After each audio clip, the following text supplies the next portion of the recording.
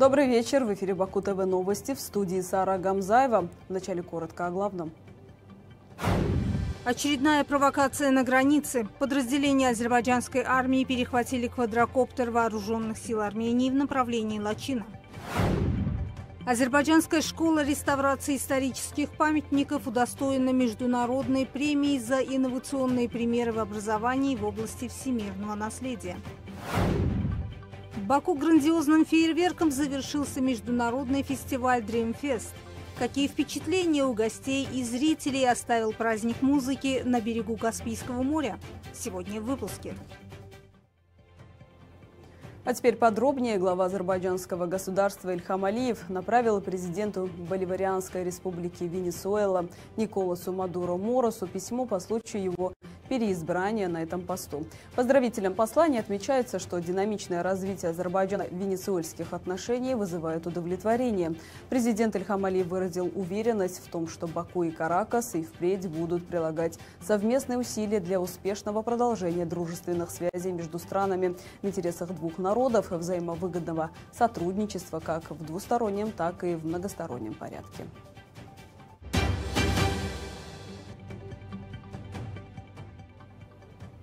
Продолжаем выпуск сообщением Минобороны Азербайджана об очередной армянской провокации на границе. В направлении Лачинского района перехвачен квадрокоптер вооруженных сил Армении. Подразделения азербайджанской армии перехватили специальными техническими средствами квадрокоптер ВС Армении. Об этом сообщает пресс-служба Министерства обороны Азербайджана. Согласно информации, 28 июля в 17.40 квадрокоптер вооруженных сил Армении попытался осуществить разведывательный полет над позициями азербайджанской армии в направлении Лачинского района. Благодаря бдительности наших подразделений, обнаруженный очередной беспилотный летательный аппарат был перехвачен специальными техническими средствами и выведен с территории, уточнили в оборонном ведомстве.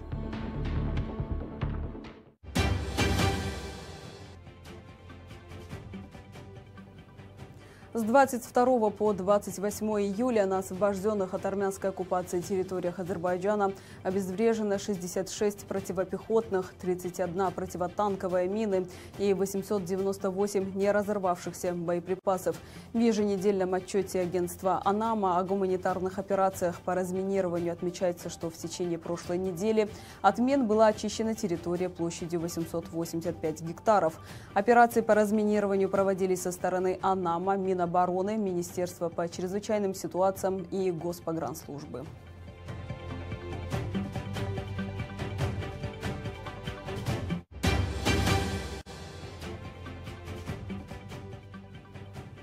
Продолжаем выпуск. Уникальная азербайджанская школа реставрации исторических памятников «Мактаб» созданная по инициативе Управления государственного историко-архитектурного заповедника Чаришагар, стала победителем международной премии. Эта премия была учреждена действующим под эгидой ЮНЕСКО учебным и научно-исследовательским институтом всемирного наследия для Азии и Тихоокеанского региона. Мактаб, удостоенный награды Star of Discovery на конкурсе «Глобальные награды за инновационные примеры в образовании в области всемирного наследия», был выбран из более чем 100 кандидатов кандидатов со всего мира. Первый в Азербайджане завод по производству промышленных взрывчатых веществ выведен на полную мощность. Предприятие в Гянже передано в эксплуатацию дочерней компании закрытого акционерного общества «Азерголд» общество с ограниченной ответственностью «Азербласт». На начальном этапе предприятие начнет работу с персоналом из 35 человек с последующим увеличением числа работников, рабочих мест до 65. С выводом завода на полную мощность спрос на промышленные взрывчатые вещества будет удовлетворен за счет местного производства и зависимость от импорта будет устранена. Министр экономики Азербайджана Михаил Джабаров ознакомился с деятельностью завода. В своем аккаунте в соцсети X глава ведомства подчеркнул важность данного проекта, являющегося успешной бизнес-моделью государственно-частного партнера партнерство в достижении таких целей, как создание новых рабочих мест и современных производственных площадей, а также устранение зависимости от импорта.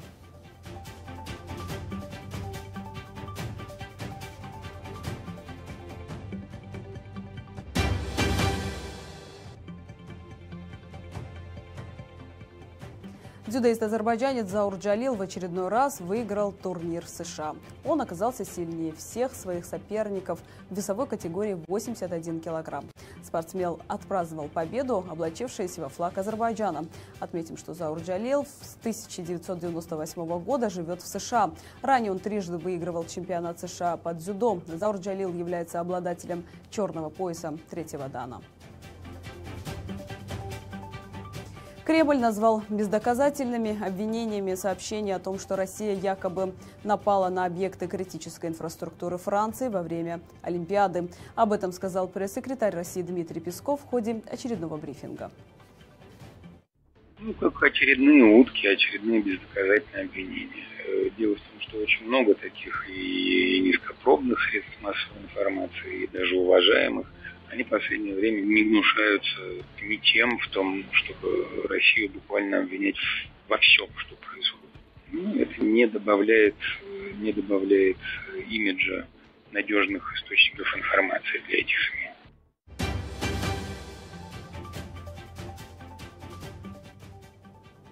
В Баку грандиозным фейерверком завершился международный фестиваль Dream Fest.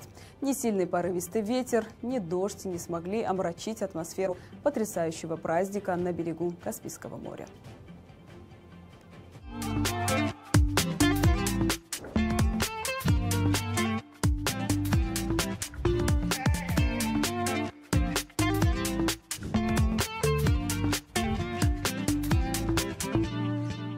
Баку в Сибриз Резорт завершился международный фестиваль Dream Fest 2024. Масштабный музыкальный праздник, который проходил с 23 по 28 июля, собрал звезд российской, азербайджанской и мировой эстрады. Мечта сбылась. Заявочный фестиваль всегда самый сложный. Я думаю, что после эфиров, которые телевизионных мы получим э, после этого фестиваля, я надеюсь, что этот фестиваль станет ежегодным и самым крупным и масштабным в мире первое, что мы бы хотели сказать, а, мы рады быть в Баку, а, в Сибризе. Здесь потрясающие люди. А, мы, мы прям очень-очень счастливы находиться здесь.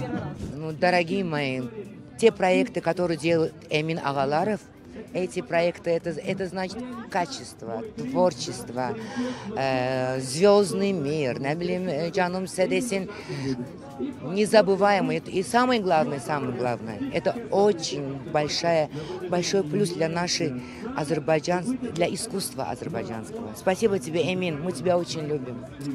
Ну, потрясающий, очень радостный праздник, настоящий праздник музыкальной культуры музыкальных. Поэтому мы принимаем участие, это очень здорово. Спасибо за приглашение. Я приехал вот с первого, практически с первого дня, чтобы посмотреть но это достойно уважения. Спасибо Эмину. Спасибо, я тоже очень скучала, была последний раз до пандемии.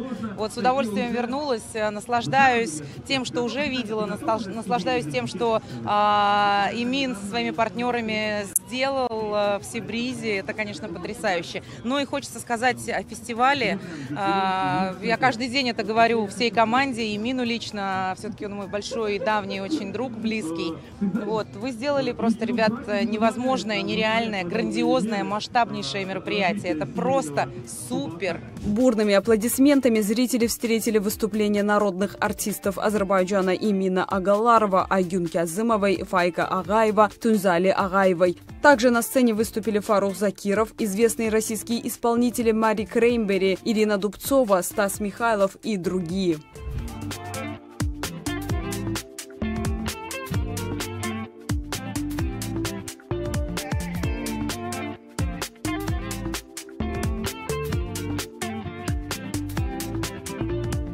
Заключительный фестивальный день прошел при полном аншлаге. Зрители подпевали любимым артистам и танцевали, несмотря на ветреную погоду и внезапный дождь. До конца поддерживали артистов на сцене. Завершился концерт грандиозным исполнением песни «Мой Азербайджан». На